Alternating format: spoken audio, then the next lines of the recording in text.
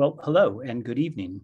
Uh, I am Dean Franco, Director of the Humanities Institute, and along with Professor Cami Chavis, I co-chair the steering committee for the Slavery, Race, and Memory Project.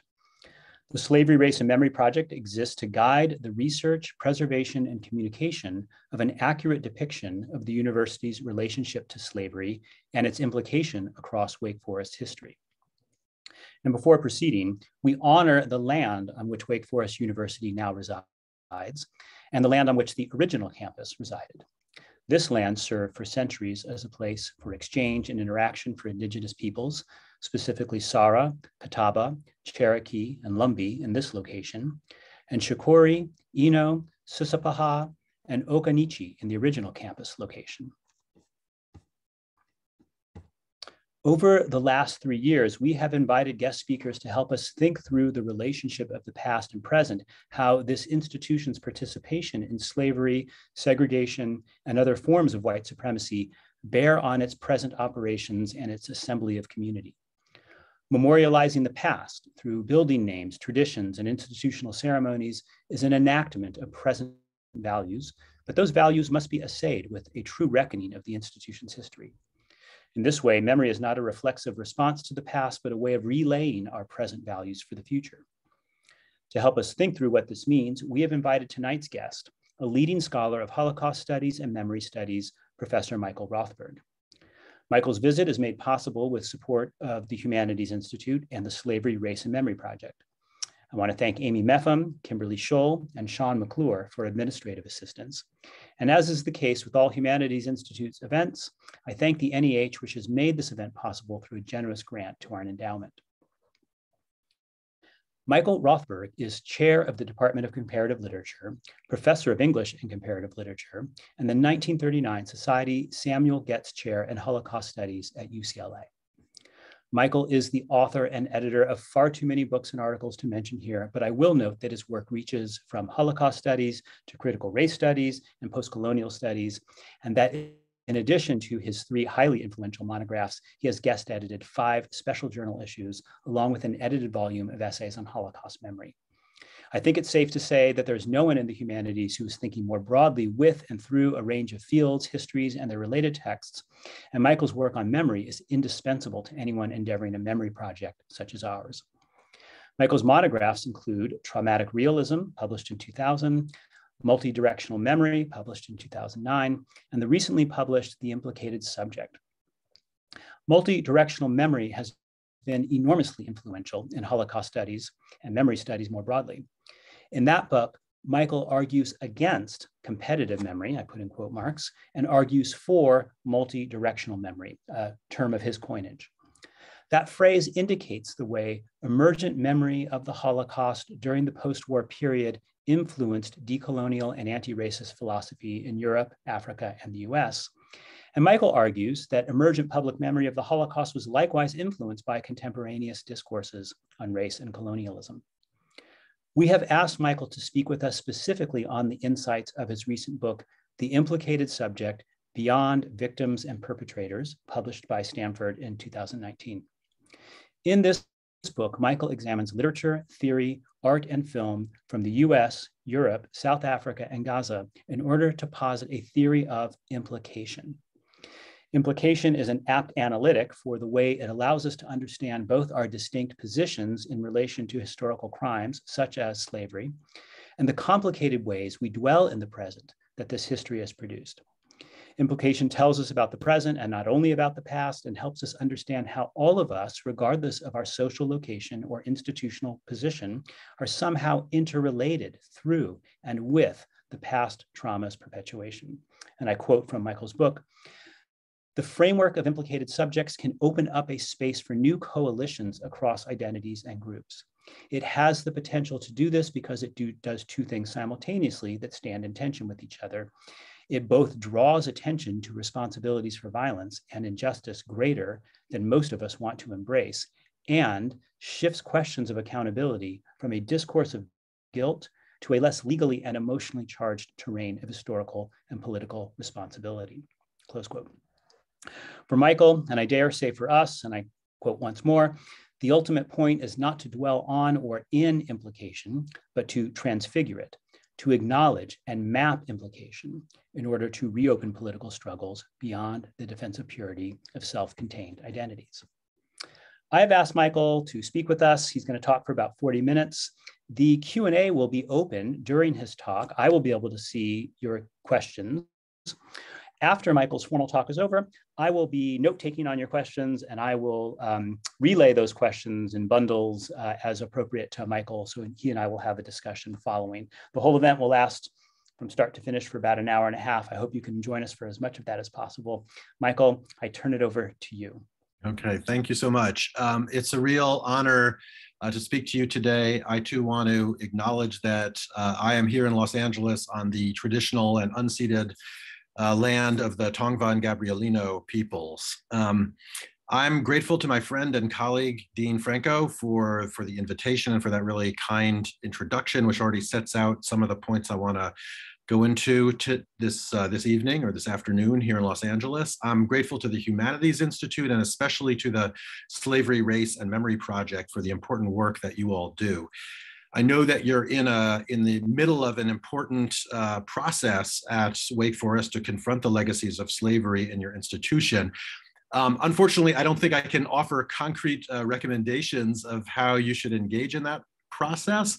However, I'm hoping that by introducing some of the ideas from my book, The Implicated Subject, um, I can sort of offer a conceptual framework that might speak to you in, in some aspects of your work.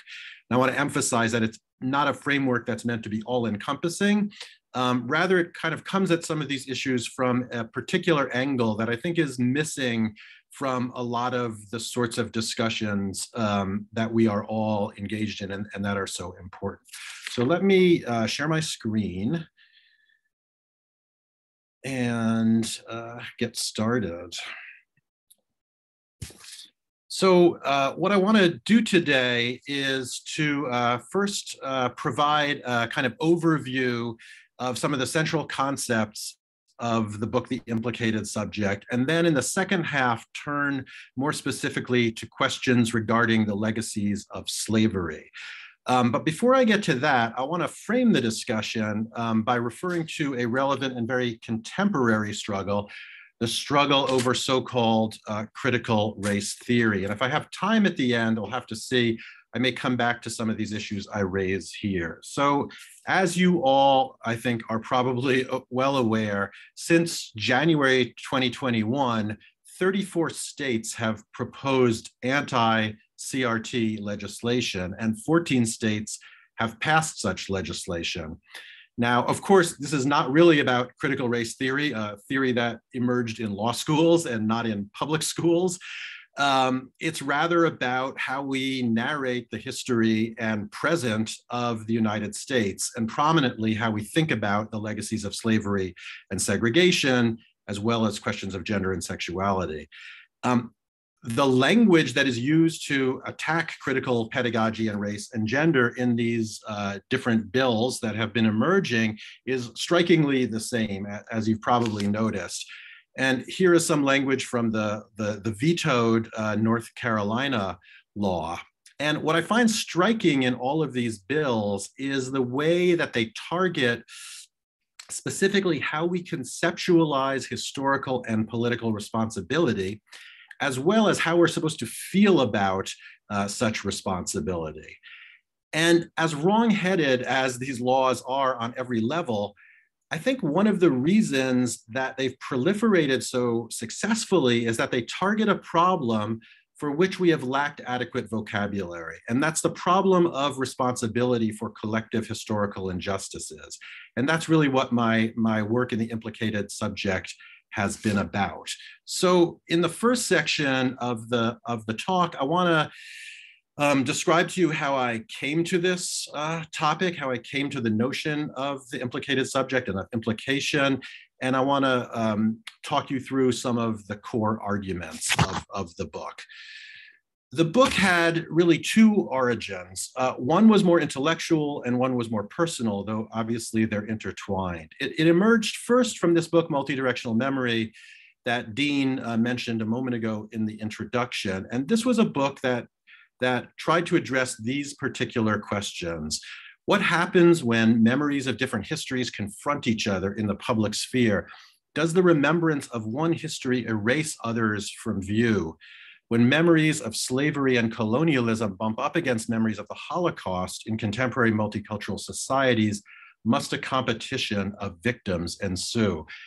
I started writing that book about 20 years ago, and the consensus at the time was, and I think it's still very much, very much with us, at least partially, is that this kind of um, uh, um, confrontation of different memories in the public sphere worked according to a particular logic, which I identified as the logic of the zero sum game. That is, the idea is that the presence of one memory, say the Holocaust, kind of actively blocks uh, the presence of other memories, say the memory of slavery, or vice versa. Too much memory of slavery would, according to this logic, prevent us from also remembering the Holocaust. And this struck me as a not really the right way to think about the way that memory works in the public sphere. And what I came to argue was that in contrast to this model of competitive memory, memory actually works what I call multidirectionally, which is to say productively and dialogically, so that even conflicts of memory, and I recognize that these conflicts are also very uneven, but even these conflicts of memory produce more memory rather than less.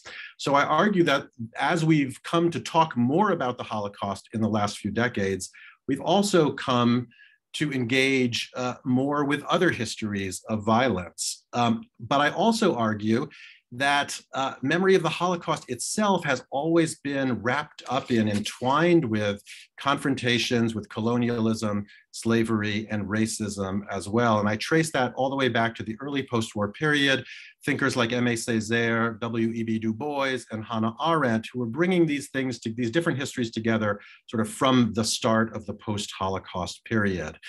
I've got a lot of different examples of this kind of dialogical memory in my book. Many of them actually focus on the context of the Algerian War of Independence in France, which emerged as a very rich uh, kind of moment for thinking about these uh, intertwinings of memory. But I wanted to just mention one today that is more directly relevant to our topic. One of the chapters treats uh, Andre Schwarz-Bart, who was a French Jewish writer of Polish origin, whose parents were deported to Auschwitz and killed, who himself fought in the anti Nazi resistance and survived the Holocaust, and went on in the post war period to write novels examining both uh, Jewish history and also the history of the Black Atlantic. Sometimes he did this alone, sometimes he did this together with his partner, Simone Schwarz-Bart, who was a Guadeloupean uh, writer.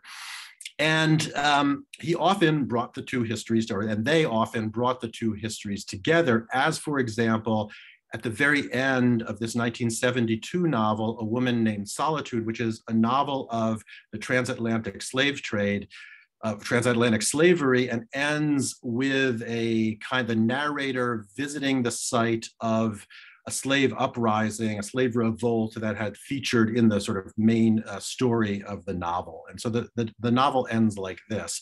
If the traveler insists, he will be permitted to visit the remains of the old d'Anglemont plantation. If, he's, if he is in the mood to salute a memory, his imagination will people the environing space, and human figures will rise up around him, just as the phantoms that wander around the humiliated ruins of the Warsaw Ghetto are said to rise up before the eyes of other travelers. So, right, so in this novel of slavery, he ends by evoking the Warsaw Ghetto. The Warsaw Ghetto is one of these sites that also, for someone like Du Bois, has often been a location for thinking comparatively about these different histories of racial violence. Um, in linking uh, slavery and the Holocaust in this way, uh, Schwarz-Bart is for me a, a, good example of what I mean by multidirectional memory and also a kind of cross-ethnic solidarity. Um, and uh, as you can see in this essay that he wrote about uh, the writing of that novel, why I wrote La Mulâtre Solitude, the, the, the, A Woman Named Solitude, um, he uh, this uh, this coming together of different histories is founded on a kind of shared history, shared experiences of victimization. So he writes there, Certainly, this word slavery affected me as a Jewish man, member of a community that had just experienced the price of human life. And yet, as strange as it might seem to you, the word touched me above all as a Jewish child, as the far flung descendant of a people born in slavery. And I believe that it is that Jewish child whose fathers were slaves under Pharaoh before becoming so again under Hitler, who was taken by a definitive fraternal love for West Indians, right? So uh, his he there's a he's describing here a kind of identification with people from the Caribbean that he develops on the basis of uh, a shared history of enslavement, of of genocide, and now, oops, go down here. Um, I think it makes a lot of sense for someone like Andre Schwarz-Bart, a Holocaust survivor, to make that link between histories on the basis of uh, a shared a shared history of victimization and i was inspired by that in multi-directional memory but i was also aware that for me the relationship between these histories had to be different um, as a Jewish person, of course, I inherit a long memory of oppression, a vicarious one, not one that I've experienced directly. And I'm, of course, also aware about the continued presence of anti Semitism in, in our societies today. But I also know that as a white American, my relation to slavery is quite different from the one that Schwarz-Bart articulates there. And so, in the wake of multidirectional memory, I became interested in exploring how other relations to history could factor in these questions of memory. Um, how other subject positions beyond that of victim could be ways of accessing the connections between different histories. And as I started to think about that, and here's the more autobiographical personal side of the book, I thought back to these conversations that I had in my early 20s um, with other young Jewish people from immigrant families like my own, sometimes themselves actually immigrants. And you would hear quite often this argument what does the history of slavery have to do with me? My family wasn't here. I wasn't here. I'm not responsible for this. Why should I feel guilty about this? Why should I feel responsible? So, in some ways, anticipating that language that we see in the anti CRT legislation. Now, I knew that this was the wrong way of thinking about these questions, and I argued with them. But I also felt like I lacked the conceptual vocabulary to make effective argument, right, counter arguments against that, that sort of, well, what do I have to do with this history? And it was only many years later when I discovered this book by the German philosopher Karl Jaspers called The Question of German Guilt, that I started to develop a more analytical vocabulary that eventually led uh, to, the, to the scholarly work that I did.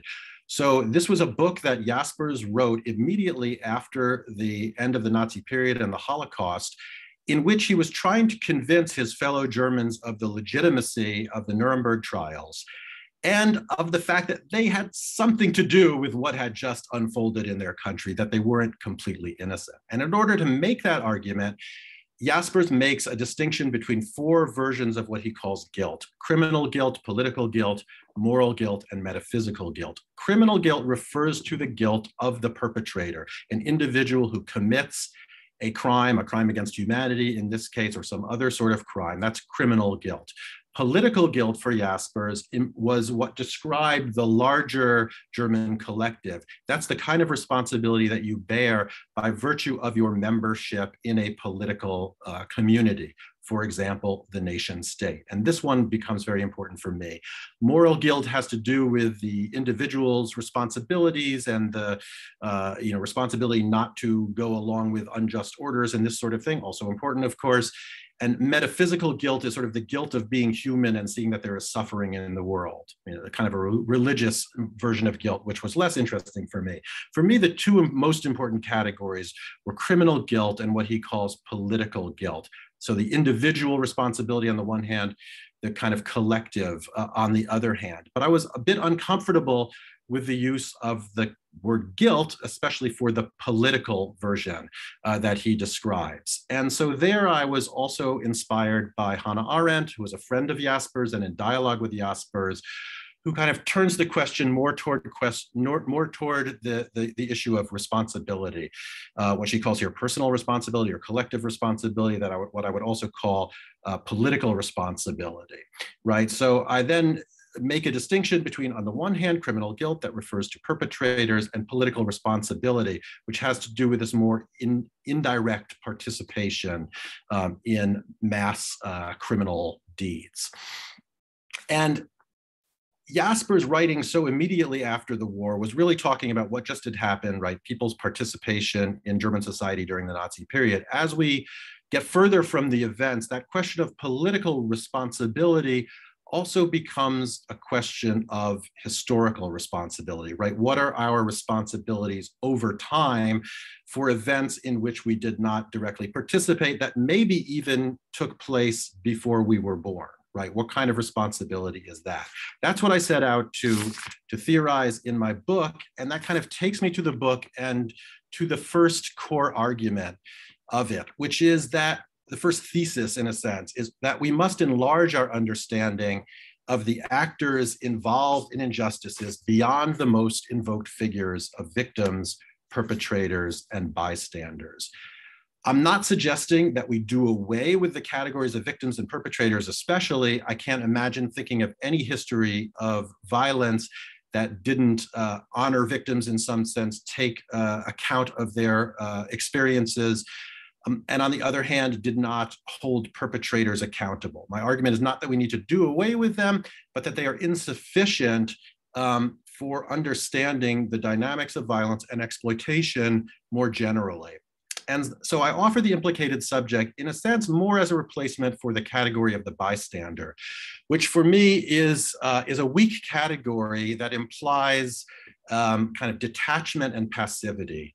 Um, and I think it's the story is more complicated than that. So I come up with this concept of the implicated subject, which is meant to complement the categories of victims and perpetrators and give us a new kind of purchase on histories of violence. The implicated subject, as I use it, is a kind of umbrella term meant to describe various relationships of uh, indirect uh, participation in violence and exploitation. So I talk about the way that implicated subjects enable violence, perpetuate it, benefit from it, or otherwise inherit. These are all different versions of, of implication and of the implicated subject, as I'll say more about in a moment. I want to stress that for me, the implicated subject is not an essential identity. It may indeed be something that we're born into. It can be very deeply seated and constitutive of who we are, but it really is a subject position. That means it is socially and historically produced, which means it's changeable and dynamic and not locked in once and for all. And also, as I'll talk more about, that we occupy multiple subject positions as we always do. We, we have different relations to different histories of violence. Like the proximate term uh, complicity, though I, for me it's a bit different, the etymology of implication is similarly uh, has to do with the way that we are folded into events and structures. And I then build on that and borrow an argument from the Italian philosopher uh, Simona Forti, a wonderful book called New Demons, um, where she talks about the subject as a transmission belt of domination, right? So when I talk about implicated subjects, I'm not talking about people who direct or initiate histories of violence, but serve as sort of transmission belts through which violence is communicated, both in the present and in some sense across time.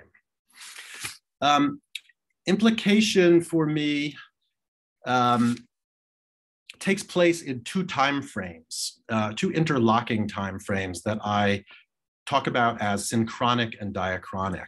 By synchronic implication, what I mean is uh, I'm referring there to histories of violence that are unfolding in the present. By diachronic, I'm talking about histories that have taken place in the past, that take place historically. Um, so on the for, sort of far synchronic side, uh, an example of what I mean by synchronic implication would be something like what I call enablers, right? So that those of us in the developed West are, in some sense, enablers of global capitalism, right? Who, through our consumption, uh, through, uh, prop it up. We are enablers of foreign wars through our tax dollars, right? We make these things possible.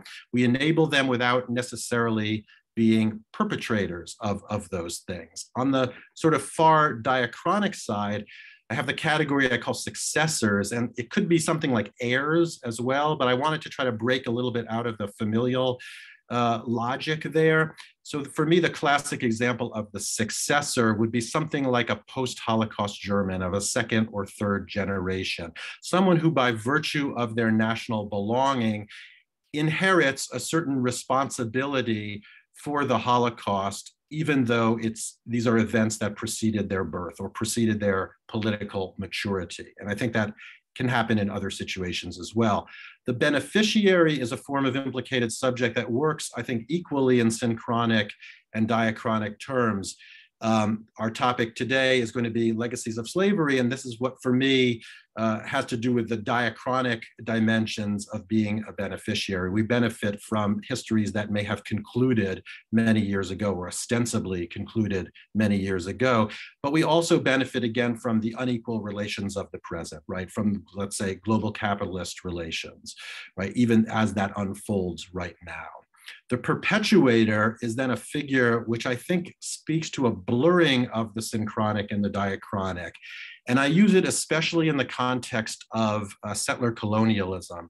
So if you are, like myself, a non-Indigenous person living in a settler colonial context, to me, the word perpetrator, again, doesn't seem quite right, but we are perpetuators of this settler colonial system, right? Which is not a once and for all event, but a structure as we've been taught. And our role within that structure is, is the role of perpetuator, it seems to me.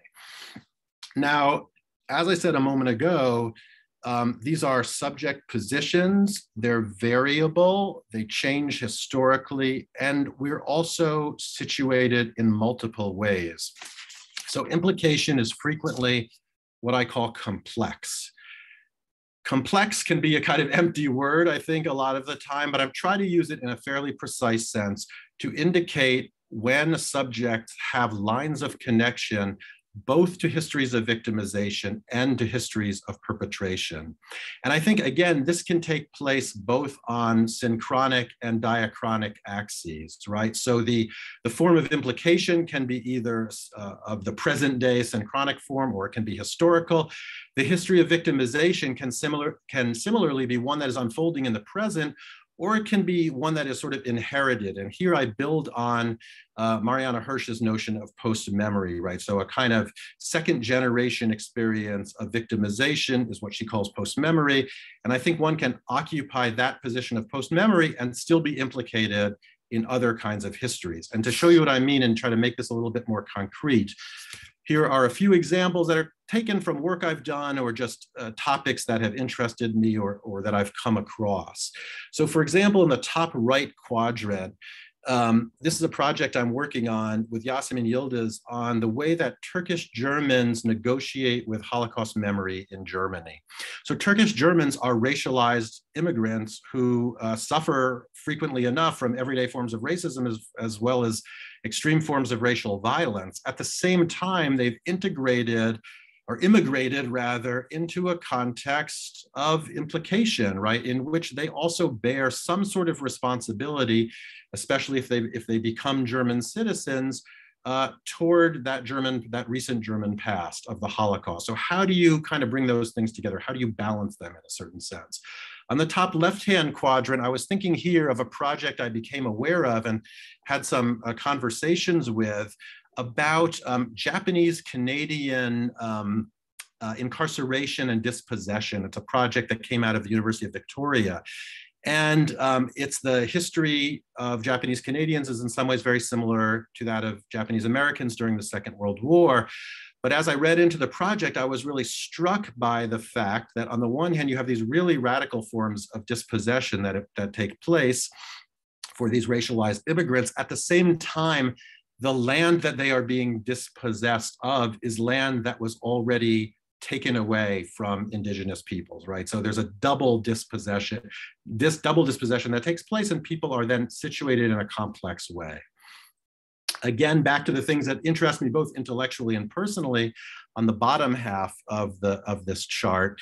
Um, and what we'll talk about uh, more today is, so, right, what does it mean to be, again, a white American Jew in relation to the history of slavery, right? Where you have a post-memory of the Holocaust or anti-Semitic pogroms in Eastern Europe, um, at the same time, in coming to the US, you become white, you become a beneficiary of this history of, of racialization and racial violence.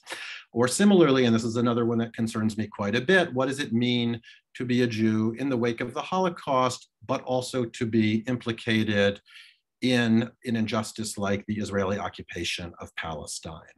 And these are all really messy cases. I think that's clear and ethically very tricky ones. And I guess what I what I hope is that drawing attention to the complexity um, and being able to map this out kind of analytically helps us to understand why some of these issues, I, let's say especially the Israeli-Palestinian one for our for, for my purposes, is so charged and so difficult to resolve. And I don't think pointing this out is going to solve the problem, obviously, but it helps to explain a little bit the dynamics of some of these struggles and some of these complex um, uh, kind of ethical and political positions.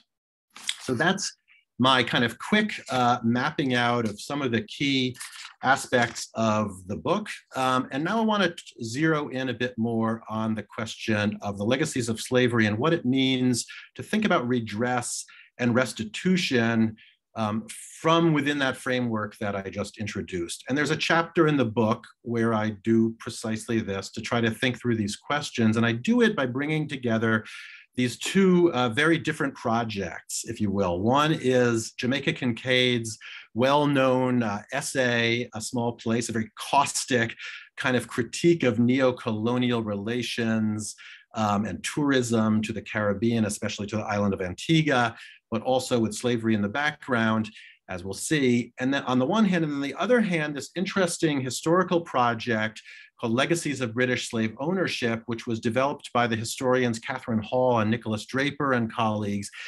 Um, and what they've done is to create a database uh, related to the reparations that were received by slave owners, right? Not slaves, slave owners, um, in the wake of abolition. And they used that, those reparations, that compensation that was paid to slave owners as a way of kind of mapping out the way that slavery and the slave system seeped into all aspects of uh, British life. So the question that I want to raise in this context, drawing on the notion of implicated subject, is what does it mean to think about redress or restitution for slavery beyond the victim perpetrator binary? And I'll try to explain what I mean by this, why I think this is an important question.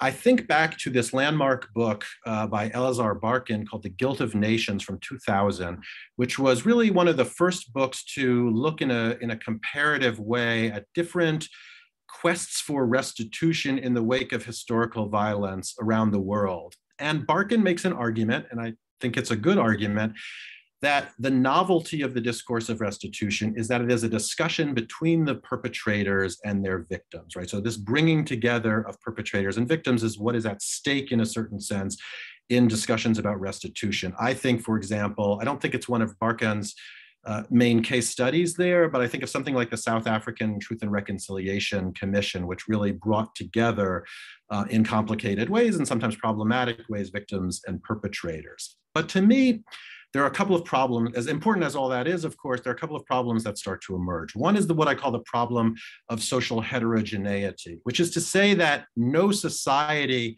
is as cleanly organized and divided as is implied by Barkan's uh, uh, phrase here of perpetrators and victims. There are always going to be people who occupy other positions than that. So how do you start to factor in uh, this more complex social heterogeneity and these more complex subject positions into discussions of restitution. Second point, and I think it's the one that's especially relevant here, is what happens over the course of generations, right? Insofar as a historical crime remains unexpiated, like something like slavery clearly does, um, it produces transgenerational legacies. It produces transgenerational hauntings uh, of various kinds. As we cross the generations, that question of identity starts to become more complicated again, right? Can we talk simply about victims and perpetrators, you know, after two, three, four generations have passed? It seems to me we have to think a little bit differently about those things.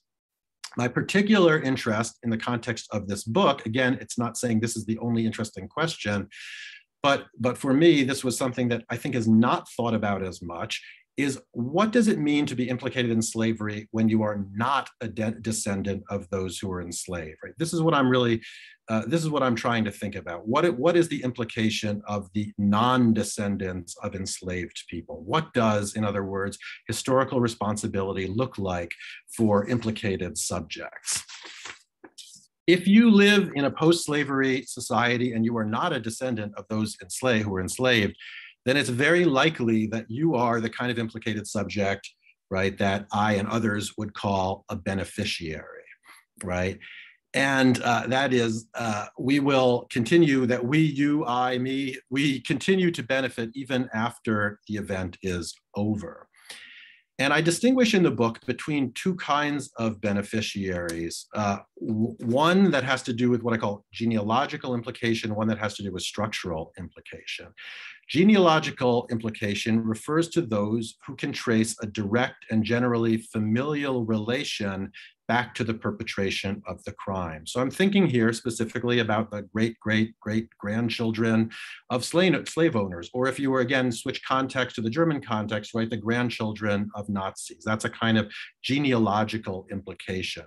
Structural implication refers to those like myself who do not have that familial link back, whose families immigrated into this history, at least in my case, and yet are still beneficiaries of that past history based on our structural position in a white supremacist society, right? So we are structurally implicated, even if we are not genealogically tied back to the events. And borrowing language from Nicholas Draper of the British Slave Ownership Project, I describe genealogical implication as intimate yet diffuse, which is to say it's intimate in the sense that it is familial, right? But it is diffuse in the sense that over the course of generations, the family tree, right, kind of gets diffused into a lot of different branches. And I'll, show an example of what I mean by that in a moment.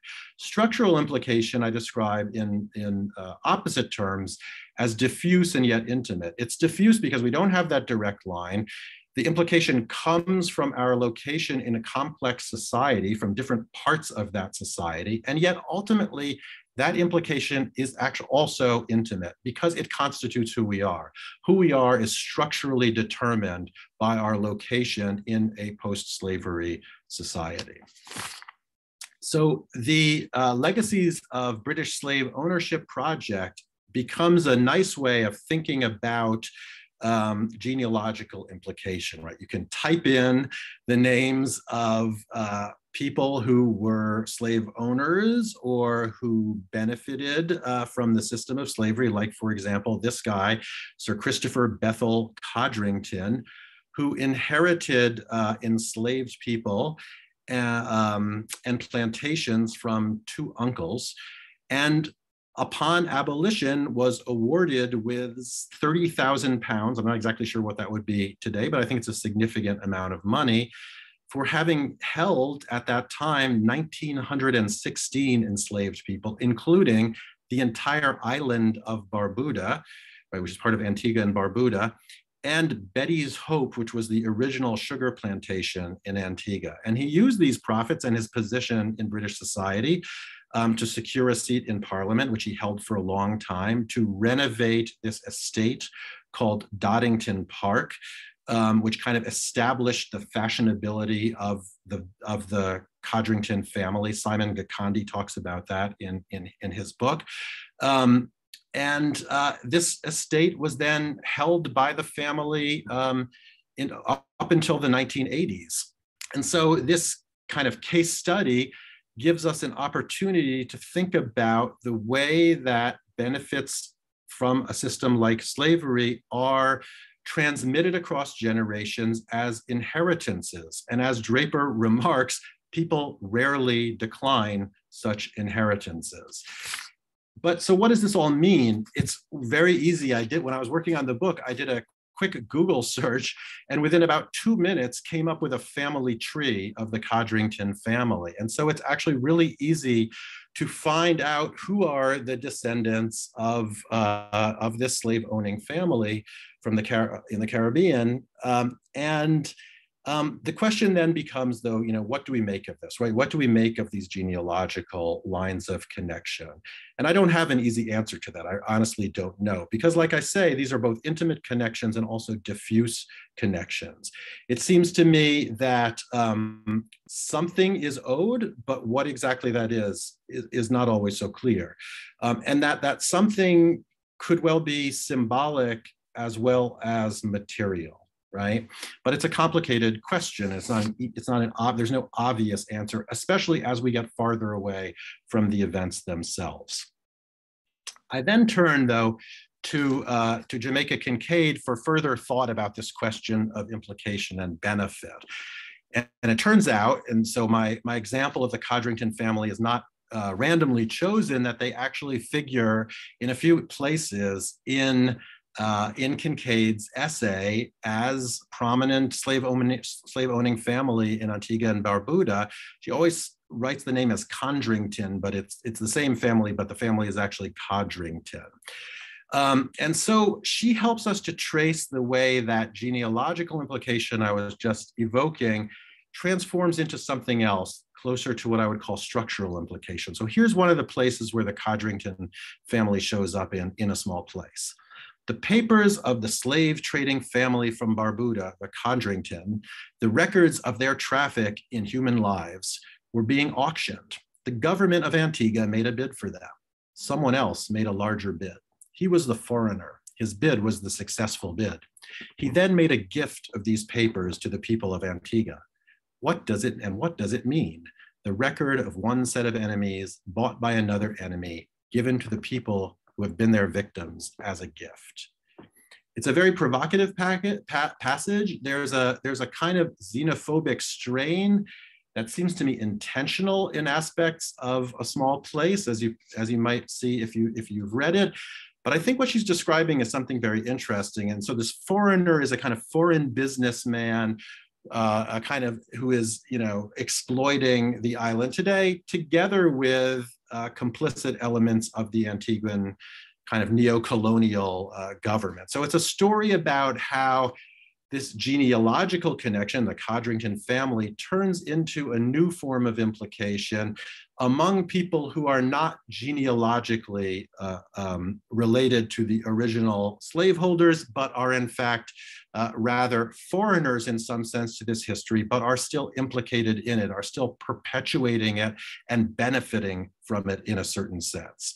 So that as we go on in time, in a certain way, genealogical implication is superseded by a larger scale structural implication. And indeed, a small place is quite directly addressed to structurally implicated white tourists right her address in the in the in the in the book in the text is is quite explicit and this is a very famous passage which is on the one hand an indictment of neo-colonial structures in the present and the way they play out in the context of tourism but it also brings up questions of historical responsibility in an interesting way and so she's describing this tourist. She's not only describing, she's addressing, she's speaking to a tourist visiting Antigua. She says, You must not wonder what exactly happened to the contents of your lavatory when you flushed it. Oh, it might all end up in the water you were thinking of taking a swim in. The contents of your lavatory might, just might, graze gently against your ankle as you wade carefree in the water. For you see, in Antigua, there is no proper sewage disposal system. But the Caribbean Sea is very big and the Atlantic Ocean is even bigger. It would amaze you to know the number of Black slaves this ocean has swallowed. So what I, there are a lot of things that I think are kind of amazing about this passage and very powerful about this book in general. One of the things is the way she's bringing together the synchronic and the diachronic here, right? On the one hand, talking very clearly about neo-colonial relations in the present. On the other hand, evoking the history of slavery as a kind of backbone of this history.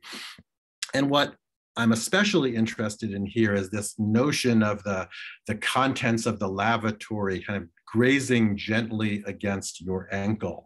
And it seems to me what she's trying to do in this direct address is to evoke a kind of bodily sensation, a kind of feeling. What does it mean, in other words? And, and if I have time, I'll come back to this in, in, the conclusion.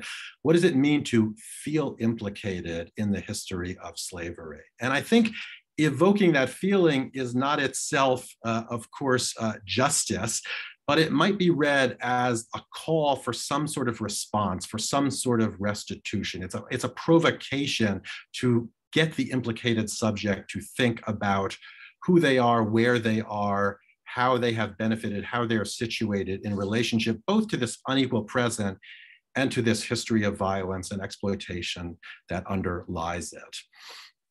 Um, when I kind of try to draw some conclusions for, for, for how we think about redress in this chapter of the book, I think about the ways that these two different uh, examples, the legacies of British slave ownership on the one hand, the Kincaid text on the other hand, both offer us something that I think is interesting and important for thinking about reparations and thinking about restitution. And I write, and this is in some ways tentative and it, it remains uh, it remains too general, but maybe a starting point, or at least for me, a kind of starting point. Approaching reparations from the side of implication involves explaining how white subjects in former slaveholding and slave trading societies are collectively responsible for the legacies of the past without being criminally guilty. It involves mobilizing both the historical lessons that a project such as Legacies of British Slave Ownership can make available about the centrality of slave capital to capitalist society, and the rhetorical power that, that Kincaid's A Small Place uses to produce feelings of discomfort. An approach based on implication suggests the need for work both in the realm of recognition the deconstruction of a white identity founded on the denial of implication in historical injustice, and in the realm of material well-being, where some form of redistribution in the, in the direction of equality would offset the persistence of ongoing inequities. And I want I don't address this so much in the book, but I wanted to kind of raise, and I don't have, an, again, an answer for it here, but in the context of the project that you all are, um, or some of you all are involved in at Wake Forest, I wanted to ask if we can also think about these different forms of implication in terms of what we might want to call institutional implication, right? So if institutions have benefited from these histories of violence, um, does it make to, does it make sense to make this kind of, or can it be helpful? Can it be illuminating in any way to think about these two forms of the beneficiary relationship, right? Can an institution be genealogically implicated and then structurally implicated at the same time? And it seems to me there might be something to this, right? That um, that as with implicated subjects more generally, um, the question of institutional identity is a question of genealogy, of trace, right? Any institution traces back its history. And if that history involves a kind of implication in something like slavery, it has to confront that at the core of its identity. But at the same time, universities, uh, like other institutions, are structurally implicated in the present, right?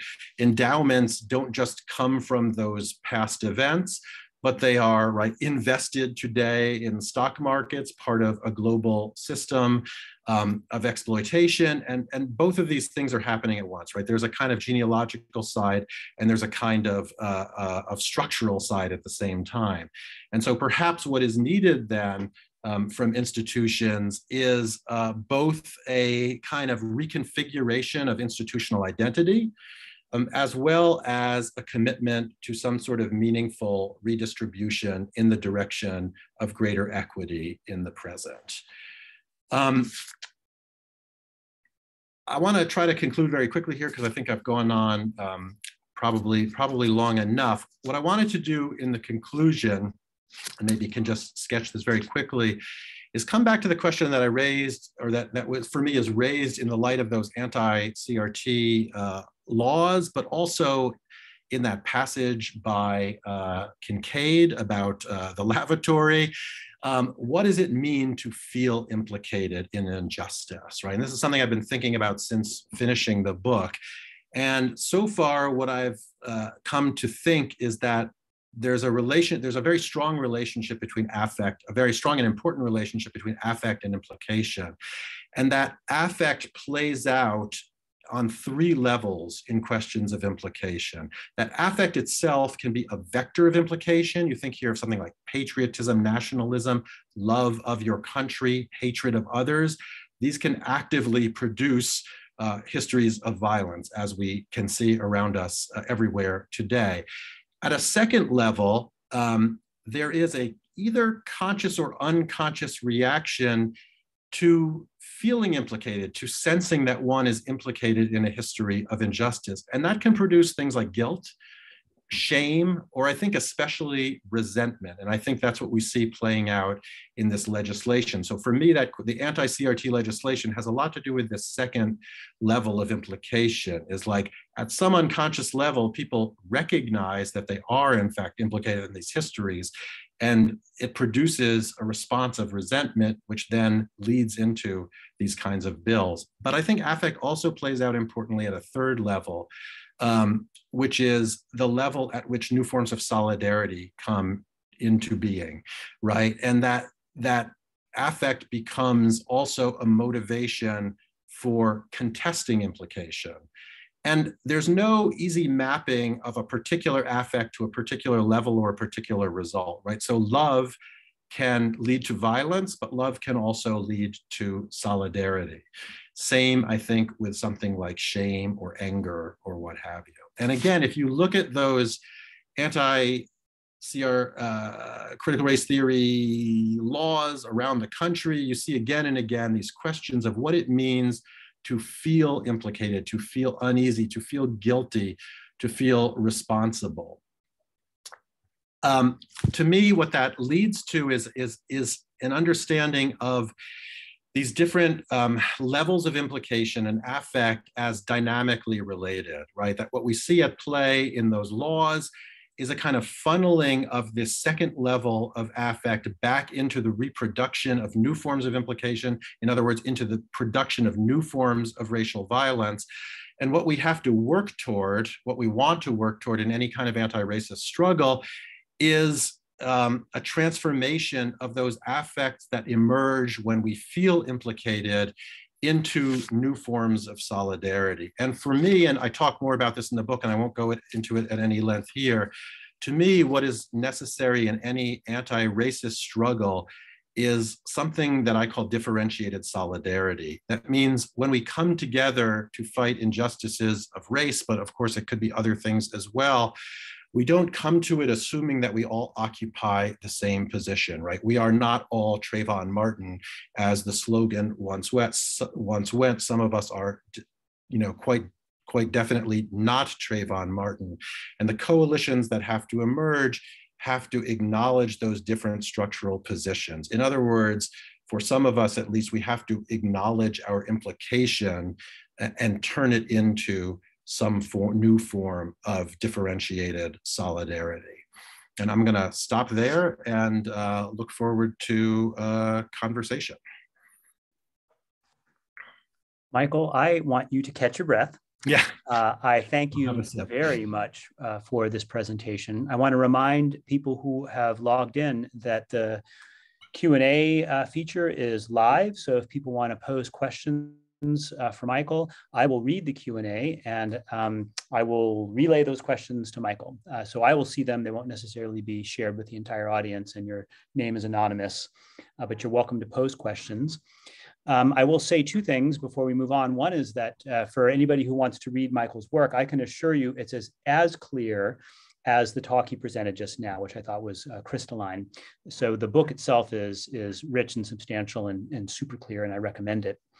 Uh, one thing I want to say, Michael, is as you were uh, speaking just now, for instance, and you were uh, showing this taxonomy of um, uh, of affects, let's say, but also in other diagrams as well.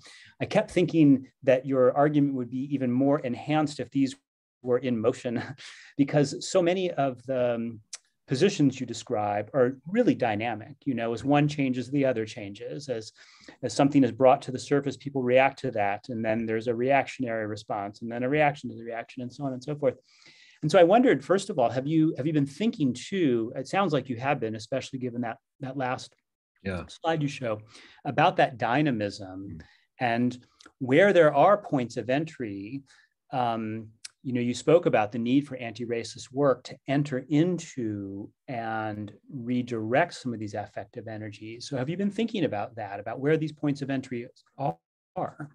Yeah, I mean, I, again, I don't, I don't have easy answers to that. I mean, I think you're right that this is a really important aspect of the whole question is to, in a sense, tap into this kind of dynamism. Um, I don't have the PowerPoint skills, I guess, to like make that all visible. I do think actually that like the making visible of some of these relations is clarifying. Like for me, at least, I, I find it sometimes useful.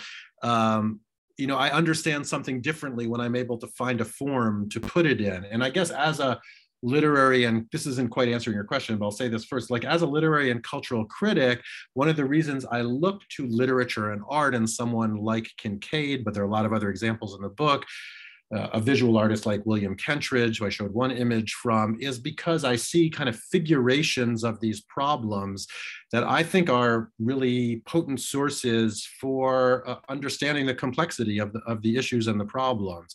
And so I'm very committed to, so I guess one, maybe one, one thing to say is that I think it's actually in art, among other places, that we find the kind of dynamism that you're talking about, right? So in a text like, um, like a small place. It's a very well-known text right? But it it it hits you you know when you read it it's very it she she moves you in a certain sense. She makes you angry. She makes you uncomfortable. The affect is itself a, a kind of dynamic force i suppose. And i think we can find that in works of art. And i think we are right. We talk about being moved by works of art. And i think that's true. And i think that's real I mean, I think we're also similarly moved by social movements, and that social movements are sources of dynamism, right? So I wrote this book before, not certainly not before the Black Lives Matter movement, but before that kind of explosion that took place in 2020. Um, and you know which I, I, won't say it confirmed what i had said or anything like that but it was interesting to be thinking about the book which does start with the trayvon martin case as you know and thinking about the responses to Trayvon Martin and, and talking at, at greater length about this particular project called We Are Not Trayvon Martin, which I thought was interesting to think with um, about this question of differentiated solidarity. Um, but, you know, those kinds of uh, those kinds of social movements are explosive and they generate ideas as well as actions and they force us to think and to rethink. Um, and you never know when they're going to happen. There's a lot of contingency of course um, that drives these sorts of things. So, I mean, I, I, guess I would say the sources of dynamism are multiple. They can be deliberately staged, as in a work of art.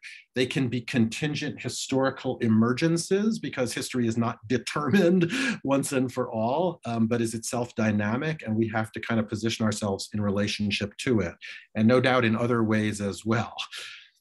One of the questions that comes up on college campuses when there are uh, surfacing of acts of racism is that this thing that we think of as happen, having happened in the past is in fact always ongoing.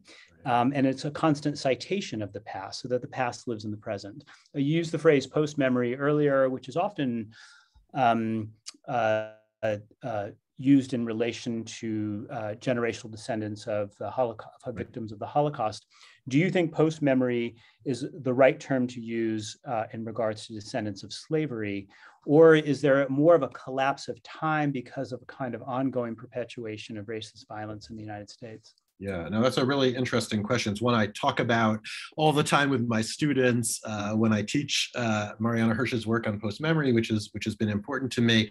I mean, I think Hirsch herself, as she as she writes in her book, The Generation of Post Memory, was inspired not only by her personal story as a second generation Holocaust, you know, uh, daughter of Holocaust survivors, not only by a work like Art Spiegelman's Maus, lately in the news, the story of a second generation Holocaust survivor, but also by Toni Morrison's novel Beloved, And um, I think she's thinking of the novel as a whole and what it does, but also particularly the character of Denver within the novel, who is precisely a kind of post-memory figure born right on the on the border between slavery and freedom growing up not with a direct experience of being enslaved but rather being haunted um, by her mother's stories and her mother's experiences especially. Um, i think it's true that the generational dynamic is different and that that probably on the one hand you know in some ways we're farther away uh, from that history than we are say from the holocaust but when you read a book like um, Saidiya Hartman's uh, Lose Your Mother, and she talks about, you know, traveling through the South with her, forget if it's her grandfather, her great grandfather, telling stories that he had heard directly from people who, from family members who had been enslaved. You realize this is also not that far in the past either. And there is still intergenerational transmission, as you would see in relationship to the Holocaust. But I think the other big difference that you're alluding to, which I think is a really important one, is that we still, we live in a different relationship to the history of slavery than I think we do to the history of the Holocaust, at least in the United States, um, where the afterlives of slavery in very material ways are still present. The history of racialization is still very much with us. I think that the Holocaust is in some ways closer temporally, but maybe more distant in terms of social relations. And I don't want to underplay either the fascist threat as it exists today, continued anti-Semitism, or the trauma that people, you know, lived through who are still with us, and as well as their children. But I think it is a different, um, there is a somewhat different dynamic there. Um, so I think one can use post-memory. I think it can be useful to use post-memory in that in other contexts, certainly beyond the Holocaust, but one has to nuance it and one has to specify also the ways that it's different. And that's also what I try to do in the book by saying post memory is a great term for intergenerational relations, but for me, it doesn't work as well on the side of the perpetrators, right? So I offer the implicated subject in that diachronic sense as a complement to the notion of post memory, right? How do we talk about intergenerational relationships, not on the side of victims, but on the side who have inherit of those who have either inherited histories of perpetration or who are beneficiaries of those histories of perpetration. I want to remind people that they are welcome to pose questions in the Q&A. We've had some come in. Uh, one other question I want to ask bears more on uh, a small college like Wake Forest. It's been a, it, an ongoing surprise to me, even though I've been here a long time, but coming out of public universities, it's been a surprise to me how much uh, private liberal arts colleges are memory machines. Hmm. Uh, they, they exist um, part of their existence is constantly manufacturing and reiterating memory um, through uh, practices of tradition, uh, uh, citations of famous figures, and, uh, acts of memorialization. Mm-hmm. And there is this constant sort of like effort to interpolate people. You know, students come in as mm-hmm. freshmen and then they they are made to remember uh, an institution that they had previously, in many cases, not been a part of. Um, does that strike you as unique in the memory business, or is it the case that when we talk about memory, that in fact we're really talking about you know all kinds of small institutions that exist to you know produce memories of in, of the institution yeah. itself? Uh, do you see the question i'm asking? yeah no it's maybe i think so. I mean it's really interesting. I mean I'm, I'm thinking first of all i think of the the definition of memory that i work with comes from jan assmann right who together with Aleida Assmann these are two of the most prominent uh, scholars of memory in recent decades. They're, they're German. Um, and Jan Assmann defines memory in one of his essays as knowledge of the past with an identity index, right? So in some sense, memory is always about that kind of interpolation that you're talking about, right? If, it, if there's no identity constituting force, it's not memory, it's knowledge. It's just history or something like that.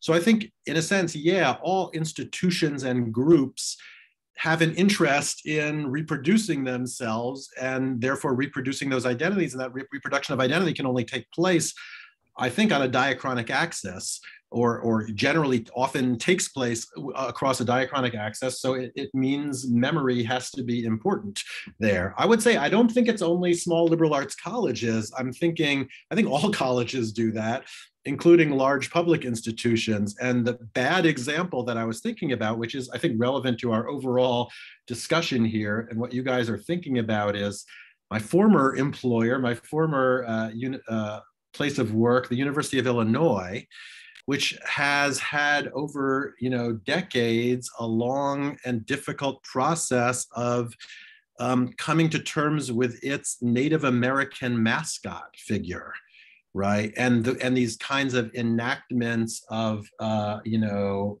red face uh, performance um, by uh, by college students and alumni um, of this fighting Illini figure, right? And this has been a huge struggle precisely because students are interpolated into this history and alumni uh, hold on to it very um, you know very strongly i suppose and it becomes difficult to get yourself out of those sorts of histories. And i think it's you know it's a, it's it's related to the kind of process that you're going through there um, and equally tricky in some ways even if it takes place on a purely kind of symbolic terrain right? It's not i don't know yeah so I think the answer is yes, uh, that, that groups and institutions are, as you say, memory machines in a sense. And that in itself is not bad. I think it's important to insist on that, right? There's nothing wrong with having a collective identity. It really matters what kind of collective identity you're talking about and I think, I guess, how open it is to reconfiguration and reformulation, how and how self-critical it can be, and that's what's at stake in a lot of these questions, right? Is the institution able to provide a kind of critical purchase on itself, and that can be very difficult. Because there are so many subject positions regards a university, you have these right. the, the, kind of legacy position uh, that is totally committed to a version of the history. You have students who show up every, you know, every year. New students come in who have really no um, implication, and they become implicated. Mm-hmm. Uh, and then, as is often the case with um, universities, you have this kind of diaspora community of faculty who are not from this town, not mm-hmm. from the state even, and they're still trying to figure out like, what's this place I'm a part of? And they bring other kinds of histories. But it seems to me that that churn of positions is also an opportunity mm-hmm. for like, you know, doing the kinds of work you're suggesting, surfacing our affects, uh, thinking through our implications, building in, what did you call it, a transmission belt of memory that is mm-hmm. different from, from the one uh, that is already operating. Yeah, I mean, there is a kind of right in a in a college community, there is a kind of built-in dynamism, right? That the population changes every few years in a pretty significant way. I mean, what's amazing is that so many, and I'm thinking again of the Illinois example. It's only one of many, but you know, it's someone I know. You know how you know uh, how successful it is in inculcating itself across generations of students despite the fact that every four years you've got a completely new student body and the faculty and staff are changing you know to some degree too. So yeah i mean it's on the one hand uh, it's an example of like how successful institutions can be in reproducing themselves but but as you say it's also an opportunity for um, you know when necessary you hope uh, a more critical engagement with that history. There's a question that came up in the Q&A and I'll, it's kind of long, so I'm gonna try to paraphrase it. If the person who posted the question thinks my paraphrase is inaccurate, mm-hmm. I invite them to, to reiterate. But uh, the question seems to be something like, well, what's at stake in theorizing implication as opposed to the kind of work uh, where we try to analyze structural racism and the perpetuation of legacies of racism that are not really about implication. So a lot of critical race theory um, is not specifically about implication and about um, uh, uh, the beneficiary, right. though we do um, land on the phrase white privilege, yeah. but rather a lot of structural relationship is interested in the material circumstances and afterlives and aftermath of slavery as the as it is lived by uh, people of color let's say what's at stake in in bringing implication into that conversation? Yeah. I mean and again just to be clear i'm not arguing that we shouldn't be doing those other things or that they're not important and maybe more important. That's not at all you know not at all my argument. I guess what i what i saw or what i felt was that you know again we had a kind of missing vocabulary item there. At least for me you know maybe it, it, has to do also with where i'm coming from which is in some sense coming out of holocaust studies um, in which you have this triumvirate of, of subject positions that we have tended to talk about victims perpetrators bystanders and being um, uh, dissatisfied with with that vocabulary and feeling that especially again this term bystander as i was saying is is insufficient in a certain sense, doesn't really get at the dynamics of violence. And thinking that that is true beyond the question of the Holocaust, right? Not just in that particular history. Um, so I guess what I would say is, and in some ways, I have to kind of admit this in a certain sense, but I, but I, but I, but I, I guess I still stand by it, which is, you know, that that that phrase I used about the transmission belt, taken from Simona Forti, that the subject is a transmission belt of violence. I guess there is a commitment to understanding not just material forces and structures, but the subjects that bear them.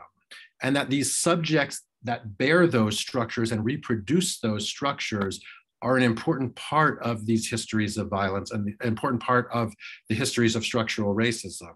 So that structural racism, among other things, um, is premised on the reprodu reproduction of certain kinds of subjects right? Whether they're docile whether they're you know whatever complicit implicated benefiting uh, perpetuating what have you that that subjects do play an important role in these structures. And it's not an individualist argument. I'm not saying like as individuals we da da da but i do think that the category of the subject um, and especially various kinds of collective subjects um, are essential to these stories. And so, you know, I know that, of course, it may be that if you're coming at this from the perspective of critiques of structural racism, you don't see the same need for this figure as I did coming from a different direction. But I guess I, I feel like it's it's useful for understanding how violence unfolds in the present, but also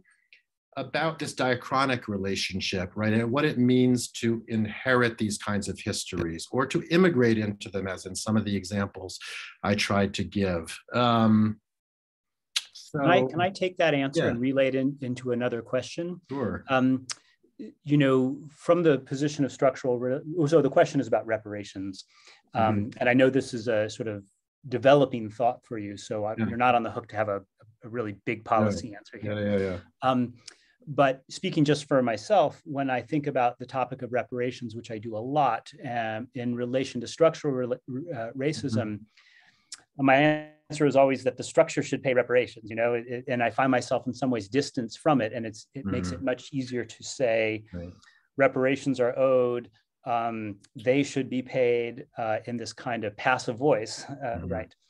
Um, it gets different when I when I understand myself as an implicated subject or a beneficiary. Um, then reparation, it makes a lot more sense to think about reparations as um, like like I have to be a participant mm-hmm. in right. um, the the authoring of reparations. Another way of putting it is you you said previously that memory is not a zero sum game, but one wonders too, like is reparations a zero sum game? Do you, is there did you have to have yeah. a stake in reparations if you are also an implicated subject? Mm-hmm. Yeah, I mean, I like the way you framed that. I, I, also am not sure that I have, you know, have the answer to it, but I think, you know, I mean, you articulate one of the reasons why, again, I feel like this concept can be productive and useful is to get people white people it's not only white people of course but just to be crude for a moment to see that they yeah that they have a stake in that that's that this isn't it's it's it's our history too that we benefit from it that it is personal in some sense even if we are structurally implicated that is also intimate right? As i was trying to explain diffuse and yet intimate. Um, and um, but is it a zero sum game? That's a that's a good question. I mean that's a difficult question um, at some you know I, I, guess my argument about i don't i don't argue that my argument about memory can simply be transformed to all social fields and social questions and you come out with the same thing. Like it's not a zero sum game. Obviously some things are zero sum games. And yet i also think that we that maybe it's it's it's it's it's more productive not to think about it in those terms right? But to think about the kinds of benefits that we all get from living in a more just uh, society, right? And you know, we're thinking we both did our land acknowledgments at the beginning, and obviously, a land acknowledgement is a is, is an important but insufficient kind of gesture. Uh, and there has to be more to it. And I don't exactly know what that would be either. But I think one of the things, I mean, for me, there and also thinking about Israel Palestine, if I can make that leap for a moment, another settler colonial context, um, to me, it seems like land is a zero sum question, right? I possess it, I have to give it back, now you possess it. But no, I think what I have learned from indigenous thinkers is, and also again from thinking about the Israel Palestine context, is we also have to think a bit out of that property reduced box and think about different relationships to land, which maybe aren't premised on propriety and single ownership of that sort. Um, and then things start to open up in a non zero sum way right? We all can have a different relationship uh, to this land, which is not based on the sort of violence of possession.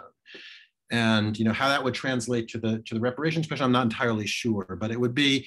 It seems to me it's valuable to try to think beyond the zero sum logic in thinking about re, re, about restitution and redress more broadly you know, in the in my introduction, I read a line from your book where you talked about moving beyond self-contained identities, right. and that seems really important um, as we think about reparation as well as implication. Michael, I want to close uh, simply by paraphrasing a comment that came up in the Q and A, which was a real salute to what this kind of work is, what what, what it is we're doing here. Um, uh, this is a talk. This is, you know, this is not material reparations. This is uh, uh, a, a, kind of gesture and an address, uh, to, to use a term you used earlier. We are recording this. We will be archiving this. Uh, mm-hmm. My colleagues and I will be talking about this. Um, and what we hope happens is that an event like this becomes part of the institutional memory itself the university is a memory machine, but it's also there's also a materiality that goes with that memory. And the more we can have events like this um, lodged in our memory and featured in our material recognition, the more we the more we change as a university. Well, thanks. Yeah, I mean, I'm glad to play a very, very small role in this conversation. I've, you know, and uh, and I and I wish you guys luck. I think what you're doing is incredibly uh, critical uh, I want to thank you so much, Michael, for being with us. And I want to thank all who attended, and especially those who stayed all the way through the Q&A. Uh, we're going to put this up on um, the Humanities Institute website, and we'll put it up on the Slavery, Race, and Memory uh, website as soon as we've got it all processed and ready to go. Uh, so you can tell your friends and, uh, and colleagues and whatnot to come uh, check this out if they missed it. for now, I wish you all a good evening. Thank you, Michael. Goodbye, everyone. Thank you so much.